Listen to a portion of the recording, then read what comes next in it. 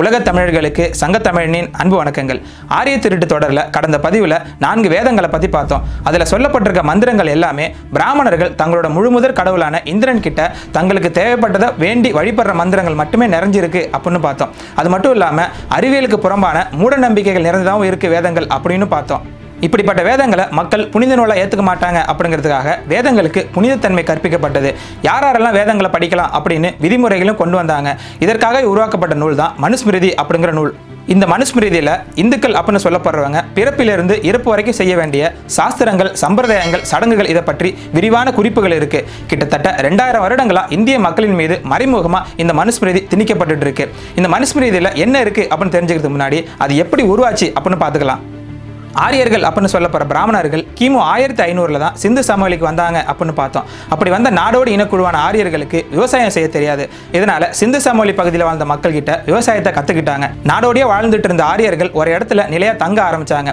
இதற்கப்புறம் சில நூறு வருடங்கள் கழிச்சு கொஞ்சம் கொஞ்சமா நகர்ந்து கங்கை சமவெளிக்கு வந்தாங்க. நான் ஏற்கனவே சொன்ன மாதிரி ஆரியர்கள் இந்திய நிலப்பரப்புக்குள்ள வரும்போது அவங்க கூட நிறைய பெண்களை கூட்டிட்டு வரல.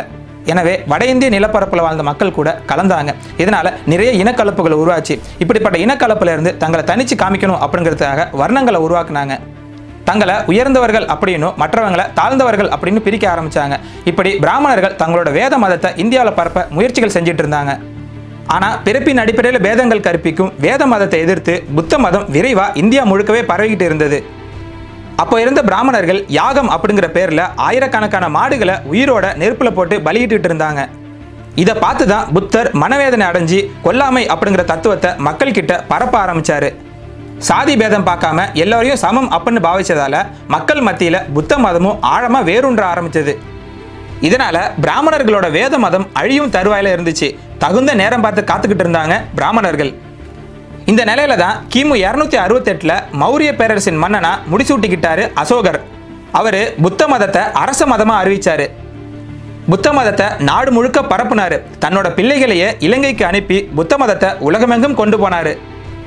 அப்போ பிராமணர்கள் அமைச்சர்களாகவும் ஆலோசகர்களாகவும் இருந்து வந்தாங்க. அசோகருக்கு பிறகு நிறைய மன்னர்கள் ஆட்சி பண்ணாங்க. கிமு நூத்தி எண்பத்தி ஏழுல ஆட்சிக்கு வந்தாரு அசோகரின் கொல்லு பேரனான பிருகத்ரதன். இவரும் புத்த மதத்தை தான் பின்பற்றினாரு. அதனால கிமு நூத்தி எண்பதுல அவரோட படை தளபதியா இருந்த புஷ்யமித்ர சுங்கன் அப்படிங்கிற பிராமணன் சூழ்ச்சி செஞ்சு பிருகத்ரதனை வெட்டி கொன்னுட்டு தன்னையே அரசனா அறிவிக்கிறாரு. இதன் மூலம் நூற்றி நாற்பது ஆண்டுகால மௌரியர்களின் ஆட்சி முடிவுக்கு வந்து சுங்க பேரரசு ஆரம்பமானது. இப்படி சூழ்ச்சி பண்ணி ஆட்சிக்கு வந்த புஷ்யமித்ர சுங்கன் மௌரிய பேரரசின் தலைநகராக இருந்த பாடலிபுத்திராவை மாற்றி சாக்கேதா அப்படிங்கிற ஊருக்கு கொண்டு வந்தார். சாக்கேதா அப்படிங்கிற பேரை அயோத்தியா அப்படின்னு மாற்றினாரு அதற்கு அர்த்தம் என்ன அப்படின்னா ஆ யோத்தியா அதாவது போரின்றி வெற்றி பெற்ற நாடு அப்படின்னு அர்த்தம். அன்னையிலேருந்து தான் ஒட்டுமொத்த இந்தியாவுக்குமே அழிவு காலம் ஆரம்பமாச்சு. முழுக்க முழுக்க பிராமணிய மதத்தை இந்தியா முழுக்க பரப்புறது மட்டும்தான் புஷ்யமித்ர சுங்கரின் முக்கிய நோக்கமாக இருந்துச்சு. இந்தியா முழுக்கவும் இருந்த சமண மதத்தையும் புத்த மதத்தையும் அழிச்சு தங்களோட வேத மதத்தை பரப்புறதுக்காக எல்லா முயற்சிகளையும் மேற்கொண்டார். இந்தியா முழுக்க இருந்த புத்தர் சிலைகளை உடைக்கிறதுக்காகவே தனியாகவே ஒரு படையை உருவாக்குனாரு. இதனால இந்தியா முழுக்க இருந்த புத்தர் சிலைகள் உடைக்கப்பட்டது. நல்ல புகழ்பெற்ற புத்த விகாரங்களில் இருந்த சிலைகளை மட்டும் ஆரிய கடவுளாக மாற்றி அந்த கோயிலை பிராமணர்களின் கோயிலாக மாற்றிக்கிட்டாங்க அது மட்டும் இல்லாமல் இந்தியா முழுக்க இருந்த புத்த பிக்குகளை தேடி கண்டுபிடிச்சி அவங்கள வெட்டியும் கொண்டாங்க புத்த பிக்குகளோட தலையை கொண்டு வரவங்களுக்கு நூறு தங்க காசுகளை பரிசாவும் அறிவிச்சாரு இந்த புஷ்யமித்ர சுங்கன். இதனால பல்லாயிரக்கணக்கான புத்த பிக்குகள் வேட்டையாடப்பட்டாங்க. புத்த விகாரங்கள் எல்லாமே இடிச்சு தரைமட்டமாக்கப்பட்டது. அப்படி இல்லைன்னா அது பிராமணர்களின் கோயிலாக மாற்றப்பட்டது. இப்படி புத்த மதத்தை அழிச்சதுக்கு பிறகு அவங்களோட வேத மதத்தை மீட்டுருவாக்கம் பண்ண வேதங்களை தொகுக்க ஆரம்பிச்சாங்க. இந்த காலகட்டத்தில் தான் மனுஸ்மிருதி ராமாயணம் மகாபாரதம் போன்ற நூல்கள் எழுதப்பட்டது அல்லது தொகுக்கப்பட்டது. தங்களோட அரசு எப்படி இருக்கணும் அப்படிங்கிறதுக்காக நாரத ஸ்மிருதி அப்படிங்கிற நூலை எழுதிய சுமதி பார்கவா அப்படிங்கிறவரை வச்சு மனுஸ்மிருதியை எழுதினாங்க. அந்த காலத்தில் வட இந்தியாவில் மனு அப்படிங்கிற வார்த்தை மரியாதைக்குரிய சொல்ல பார்க்கப்பட்டது. இதனால் சுமதி பார்கவா தன்னோட பேரை மனு அப்படின்னு மாற்றிக்கிட்டு அவர் எழுதின புத்தகத்தை மனுஸ்மிருதி அப்படின்னு வெளியிட்டார். உதாரணமா விளம்பரங்கள்ல டாக்டர்கள் பரிந்துரைக்கும் நம்பர் ஒன் பிராண்ட் அப்படின்னு சொன்னா மக்களும் டாக்டரே சொல்லிட்டாரா அப்படின்னு சொல்லிட்டு அந்த பொருளை வாங்க ஆரம்பிச்சிருவாங்க. அதே போல தான் மனு எழுதின நூல் அப்படின்னு சொன்னா மக்களும் மறுபேச்சு பேசாம அதை பின்பற்றுவாங்க அப்படிங்கிறதுக்காக பிராமணர்கள் செஞ்ச சூழ்ச்சி தான் இது. புஷ்யமித்ர சுங்கனும் இந்த மனுஸ்மிருதியை சட்டமாக்குனாரு. இப்படி இந்த மனுஸ்மிருதிக்கு ஒரு புனிதத்தன்மை கொடுக்கணும் அப்படிங்கிறதுக்காக இந்த மனுஸ்மிருதியில் சொல்லப்பட்ட வர்ணாசிரம கொள்கைகளை ரிக்வேதத்திலையும் இடைசுவர்களாக கொண்டு போனாங்க. அதாவது கிமு முதலாம் நூற்றாண்டில் எழுதப்பட்ட மனுஸ்மிருதியோட காலத்தை கிமு பதினஞ்சாம் நூற்றாண்டுக்கு கொண்டு போனாங்க. இதுதான் மனுஸ்மிருதியோட உண்மையான கதை. இதை தன்னோட பல ஆண்டு ஆராய்ச்சிகள் மூலம் டாக்டர் அம்பேத்கர் உட்பட பல வெளிநாட்டு ஆராய்ச்சியாளர்களும் நிரூபிச்சிருக்காங்க. ஆனால் இந்த மனுஸ்மிருதிக்கு பிராமணர்கள் சொல்ற கதையே வேற. இந்த மனுஸ்மிருதி எழுதினது சுயாவாம்பு மனு அப்படிங்கிறவர் இவர் கிமு ஆயிரத்தி ஐநூறில் வாழ்ந்தாரு அப்படின்னு சொல்கிறாங்க ஆனால் அவங்க சொல்கிற எதுக்குமே அவங்க கிட்ட ஆதாரங்கள் கிடையாது. சரி இந்த மனுஸ்மிருதியில் என்ன இருக்குது அப்படின்னு பார்க்கலாம். இந்த மனுஸ்மிருதி பன்னெண்டு அத்தியாயங்கள் கொண்டது. இதில் முதலாவது அத்தியாயத்தில் தான் வர்ணாசிரமம் வருது. அதாவது மக்களை பிறப்பின் அடிப்படையில் ஐந்தா பிரிக்கிறது. பிரம்மாவோட தலையிலிருந்து பிறந்தவங்க பிராமணர்கள் அப்படின்னும் தோல்ல இருந்து பிறந்தவங்க சத்திரியர்கள் அப்படின்னும் தொடைகள்ல இருந்து உருவாக்கப்பட்டவங்க வைசியர்கள் அப்படின்னும் கால்கள்ல இருந்து உருவானவங்க சூத்திரர்கள் அப்படின்னு பிரிக்குது இந்த வர்ணாசிரமம். ஐந்தாவது வர்ணத்தினரை சண்டாளர்கள் பஞ்சமர்கள் அல்லது தீண்டத்தகாதவர்கள் அப்படின்னு சொல்றாங்க. இவங்களுக்கு சாதி கூட கிடையாது. இன்னைக்கும் இவங்களை சாதியற்ற இந்து அப்படின்னு தான் சொல்றாங்க. இப்படி தன்னோட நாட்டில் வாழ்ந்த மக்களை ஐந்தா பிரித்து ஒவ்வொருத்தருக்கும் தனித்தனி வேலைகளையும் அதாவது குலத்தொழிலையும் சட்டங்களையும் தண்டனைகளையும் வகுத்து இருந்துச்சு இந்த மனு தர்மம். இந்த மனு தர்மத்தின்படி ஒவ்வொரு பிரிவிற்கும் குறிப்பிட்ட வேலைகள் ஒதுக்கப்படும். அவங்க அந்த வேலைகளை மட்டும்தான் பார்க்கணும். பிராமணர்கள் அறிவாளிகள். அதனால அவங்க அர்ச்சகர்கள் புலவர் சட்ட ஆலோசகர் அமைச்சர்கள் ராஜதந்திரிகள் போன்ற அதிக உடல் உழைப்பு இல்லாத வேலைகளை செய்யலாம். எக்காரணத்தை கொண்டும் மற்றவங்க கிட்ட கையை கட்டி வேலை செய்யக்கூடாது. அடுத்ததா சத்திரியர்கள். இவங்க அரசர்களாக இருக்கலாம் போர் வீரர்களாக இருக்கலாம். பிராமணர்களை பாதுகாக்கிறது தான் இவங்களோட முக்கியமான வேலையே. அடுத்ததாக வைசியர்கள். இவங்க வணிகர்களாகவும் சிறு வியாபாரிகளாகவும் தொழிலதிபர்களாகவும் பண்ணையாளர்களாகவும் இருக்கலாம். அடுத்ததாக வர்றது சூத்திரர்கள். இவங்க கடின உழைப்பாளிகள் கூலி தொழிலாளர்கள். மற்ற மூன்று வர்ணத்தாருக்கும் பணிவிடை செய்யவே பிறந்தவங்க. இவங்க உழைச்சதுக்கு காசு கேட்கக்கூடாது. அவங்களா பார்த்து போட்டு கொடுக்குற கூலியை வாங்கிட்டு மறுபேச்சே பேசாமல் போயிடணும். சரி இப்படி வர்ணத்தை உருவாக்கியாச்சு. எந்தெந்த சாதிக்கு எந்தெந்த வர்ணத்தை ஒதுக்குறது அப்படின்னு யோசிச்சாங்க பிராமணர்கள். முதலாவது இடத்துக்கு பிரச்சனையே இல்லை அது பிராமணர்களுக்கு. கடைசி மூணு இடத்துக்கு தான் பிரச்சனை. யார் யாரெல்லாம் பிராமணர்களோட இந்த வர்ணாசிரம கொள்கையை ஏற்றுக்கிட்டாங்களோ அவங்களுக்கு ரெண்டாவது மூன்றாவது இடங்கள் கொடுக்கப்பட்டது. அதே நேரத்தில் பிராமணர்களோட இந்த வர்ணாசிரம கொள்கையை ஏற்றுக்காம நீ யாரா எங்களை பிரிக்கிறது அப்படின்னு எதிர்த்து கேள்வி கேட்டவங்களை சூத்திரர்கள் அப்படின்னு அறிவிச்சாங்க. ஐந்தாவதாக இருந்த சண்டாளர்களை பற்றி பின்னாடி சொல்கிறேன் அதே போல இந்த மனு தர்மத்தில் ஒரு வர்ணத்தை சேர்ந்தவங்க அந்த வர்ணத்தை சேர்ந்தவங்களை மட்டும்தான் திருமணம் பண்ணிக்கணும் அப்படின்னு கொண்டு வந்தாங்க. அதாவது அகமண முறையை ஆதரிச்சாங்க.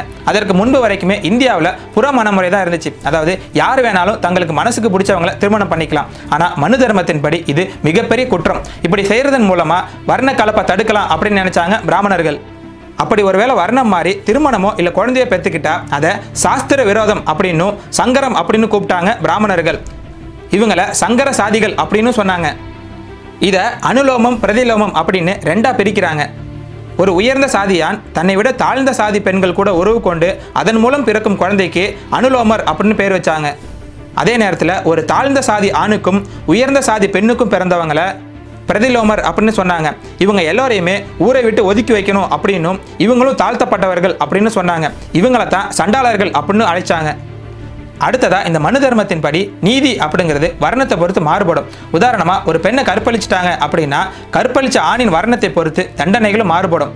கற்பழிச்சது ஒரு பிராமணராக இருந்தால் அவரோட தலைமுடியை கொஞ்சமாக வெட்டினா போதும். அதே ஒரு சத்திரியராக இருந்தார் அப்படின்னா அவருக்கு ஆயிரம் பொற்காசுகள் அபராதம் விதிக்கணும். அதுவே ஒரு வைசியராக இருந்தார் அப்படின்னா அவரோட சொத்துக்களை பறிமுதல் பண்ணிட்டு அவரை ஊரை விட்டு விரட்டிடணும். ஆனால் கற்பழிச்சது ஒரு சூத்திரனாக இருந்தால் உடனே அவனை வெட்டி கொண்டு வரணும் இப்படி வர்ணத்தை பொறுத்து தான் நீதியும் மாறுபடும். பிராமணர்கள் எவ்வளவு பெரிய தப்பு பண்ணாலுமே அவங்கள கொல்லக்கூடாது. அவங்களுக்கு கொடுக்குற அதிகபட்ச தண்டனையை அவங்களோட சொத்துக்களை பறிமுதல் பண்ணிட்டு அவங்கள ஊரை விட்டு விரட்டுறது தான் அதனால தான் இன்னைய வரைக்குமே அச்சுராஜா எஸ் வி சேகர் பண்றவங்கள கைது பண்ண மாட்டாங்க காவல்துறையினர். சூத்திரர்களுக்கு கல்வி மறுக்கப்பட்டது. அவங்க வேதங்களை அறவே படிக்கக்கூடாது. ஒரு சூத்திரன் வேத பாடங்களை கேட்டான் அப்படின்னா அவனோட காதில் ஈயத்தை காய்ச்சி ஊற்றணும் வேதத்தை உச்சரித்தான் அப்படின்னா அவனோட நாக்கை அறுக்கணும். வேதத்தில் புலமை பெற்று விட்டான் அப்படின்னா அவனை துண்டு துண்டாக வெட்டி கொல்லணும். வால்மீகி ராமாயணத்தோட கடைசி பாகத்தில் சம்புகன் வதம் அப்படின்னு ஒரு பகுதி இருக்கும். அதில் சம்புகன் அப்படிங்கிற சூத்திர சிறுவன் வேதங்களை படித்தான் அப்படிங்கிறதுக்காக ராமன் சம்புகனை தழகில கட்டி வச்சு அவனோட தலையை வெட்டி கொன்னாரு அப்படின்னு இருக்கும். அந்த அளவுக்கு வர்ணாசிரமத்தை கடைபிடிச்சவர் தான் கடவுளாக கும்பிடுறாங்க. ஒரு சூத்திரன் பிராமணர்களோட பெயரையோ இல்லை சாதியோ சொல்லி கூப்பிட்டா பத்து விரல் நீளமுள்ள பழுக்க காய்ச்சின கம்பியை அவனோட வாய்க்குள்ளே விடணும். அப்படின்னு எட்டாவது அத்தியாயத்தில் இருக்கிற இரநூத்தி எழுவத்தி ஒன்றாவது ஸ்லோகம் சொல்லுது. அதே போல ஒரு சூத்திரன் பிராமணருக்கு அவரோட வேலைகளை பார்க்க உத்தரவிட்டால் அந்த சூத்திரனின் காதுலையும் வாயிலையும் சூடான எண்ணெயை ஊற்றணும் அப்படின்னு எட்டாவது அத்தியாயத்தில் இருக்கிற இரநூத்தி எழுபத்தி ரெண்டாவது ஸ்லோகம் சொல்லுது. இது மட்டும் இல்லாமல் ஒரு சூத்திரன் பிராமணருக்கு எதிராக கையை ஓங்கினாலே அவனோட கையை வெட்டணும். பிராமணரை உதைச்சா அவனோட காலை வெட்டணும் அப்படின்னு எட்டாவது அத்தியாயத்தில் இருக்கிற இரநூத்தி எண்பதாவது ஸ்லோகம் சொல்லுது. அதே போல ஒரு சூத்திரன் உயர் சாதிக்கு சரிசமமாக உட்கார்ந்தா அவனோட பின்புறத்தில் சூடு வைக்கணும் அப்படின்னு எட்டாவது அத்தியாயத்தில் இரநூத்தி எண்பத்தி ஓராவது ஸ்லோகம் சொல்லுது. சூத்திரர்களுக்கு சொத்து சேர்க்கும் உரிமை கிடையாது. அவங்க எப்போதுமே மற்ற சாதியினரையே அண்டி பிழைக்கணும். அப்படி மீறி சொத்து சேர்த்தாங்கன்னா அந்த சொத்தை பிராமணர்கள் கைப்பற்றிக்கலாம். இது மட்டும் இல்லாமல் பிராமணர்களுக்கு வரி விதிக்கக்கூடாது அவங்களோட செலவை அரசே ஏற்றுக்கணும் இப்படி முழுக்க முழுக்க பிராமணர்களால் பிராமணர்களுக்காகவே எழுதப்பட்டது தான் இந்த மனு தர்மம். இந்த மனு தர்மத்தை கூர்ந்து கவனிச்சிங்க அப்படின்னா அதில் சொல்லப்பட்டிருக்க தண்டனைகள் எல்லாமே சூத்திரர்களுக்கு எதிராக தான் இருக்குது இதன் மூலம் சூத்திரர்களை பார்த்து பிராமணர்கள் கடுமையாக பயந்துருக்காங்க அப்படின்னு தெரிய வருது. அதே நேரத்தில் சூத்திரர்கள் மட்டும்தான் பிராமணர்களை மிக கடுமையாக எதிர்த்திருக்காங்க அப்படின்னு நம்ம புரிஞ்சுக்கலாம். மற்ற சாதியினர் எல்லாமே பிராமணர்கள் சொல்றதை கேட்டு நடந்திருக்காங்க அப்படின்னு நம்ம புரிஞ்சுக்கலாம். இந்த மனு தர்மத்தின் அடிப்படையில் தான் இன்னைய வரைக்குமே இந்திய மக்கள் ஆளப்படுறாங்க. நான் சொன்னது எல்லாமே இந்த மனு தர்மத்தின் ஒரு சின்ன பகுதி தான் இன்னும் பல கொடூரமான தண்டனைகள் சூத்திரர்களுக்கு எதிராக இந்த மனு தர்மத்தில் சொல்லப்பட்டிருக்கு. இந்த மனு தர்மத்தின் மூலமா நம்மிடையே சாதி வெறியை தூண்டிவிட்டு வேடிக்கை பார்க்குறாங்க பிராமணர்கள். பிராமணர்கள் சொல்றதை கேட்டுட்டு இடைநிலை சாதிகளான பிசி எம்பிசி சாதியை சேர்ந்தவங்க பட்டியலின மக்களை வாட்டி வதச்சிட்டு இருக்காங்க. பிராமணர்கள் நம்மிடையே எப்படி சாதி வெறியை தூண்டி விடுறாங்க அப்படிங்கிறதுக்கு சமீபத்தில் நடந்த ஒரு சம்பவத்தை உதாரணமாக சொல்லலாம். சமீபத்தில் திரௌபதி அப்படிங்கிற படம் வந்துச்சு. அதை அச்சுராஜாவும் அர்ஜுன் சம்பத்தும் நேரில் போய் பார்த்தாங்க. ஆனால் இவங்களே பரியேறும் பெருமாள் இல்லை அசுரன் போன்ற படங்களை பார்ப்பாங்களா அப்படின்னா கட்டாயமாக பார்க்க மாட்டாங்க. ஏன்னா திரௌபதி படம் ஆதிக்க சாதியினருக்கு சார்பாக இருக்கும். ஆனால் அசுரன் படத்தில் ஆதிக்க சாதியினரை செருப்பால் அடிப்பாங்க. இப்படி சாதியின் பேரால நமக்குள்ளே அடிச்சுக்கிட்டு இருக்கிறதால தான் வெறும் மூணு சதவீதம் இருக்க பிராமணர்கள் இன்னைக்கும் நம்மளை அடிமையாக வச்சிருக்காங்க. ஒரு சிலருக்கு பிராமண அடிமையாக இருந்து பழகி போயிடுச்சு. பிராமணர்களை பற்றி நீங்கள் ஏதாவது பேசினா உடனே பிராமணர்களுக்கு முன்னாடி இவங்க தான் நம்ம கூட சண்டைக்கு வராங்க. கேட்டால் சத்திரிய தர்மத்தை காப்பாத்துறாங்களாம். இப்படி ஆரிய அடிமைகள் நம்ம ஊரில் நிறைய பேர் இருக்காங்க. இதனால தான் அம்பேத்கர் இந்த மனு தர்மத்தை எரிக்கணும் அப்படின்னு சொன்னார். ஆனால் காந்தியோ இந்த மனு தர்மத்தில் இருக்கிற ஒரு சிலவற்றை தவிர்த்துட்டு பார்த்தா இது ஒரு உன்னதமான நூல் அப்படின்னு சொன்னார். இப்படிப்பட்ட இந்த மனு தர்மத்தை தான் கோர்ட் ஆஃப் லா அப்படின்னு பெருமையாக பீத்திக்கிறாங்க. சரி இந்த மனு தர்மத்தில் இது மட்டும் தான் சொல்லியிருக்கா அப்படின்னு கேட்குறீங்களா இதை விட கீழ்த்தரமாக பெண்களை பற்றி குறிப்பிட்டிருக்காங்க. அதை பற்றி அடுத்த பதிவில் விரிவாக பார்ப்போம். நன்றி வணக்கம்.